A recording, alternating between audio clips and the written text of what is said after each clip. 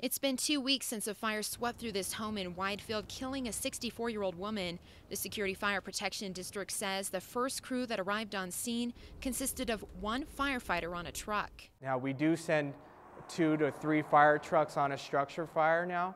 You got to keep in mind is that still has only one firefighter on it. In 2011, Gianino says his district responded to 3,200 calls for service. Compare that to 1990 when the district responded to only 900 calls for service.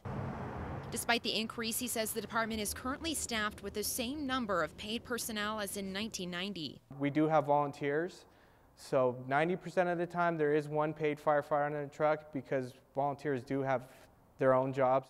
Firefighters say the lack of staff is severely hampering their ability to provide the safest and most reliable service to the community. If passed, they say the money will be used to increase personnel and nothing else. The way you got to look at it is if you were to call in a medical emergency or a loved one, would you want one firefighter helping a loved one to do CPR on that person? Um, two is safety for our firefighters when we're on a structure fire. This isn't the first time Security Fire has asked for a mill levy increase, having been turned down in the past.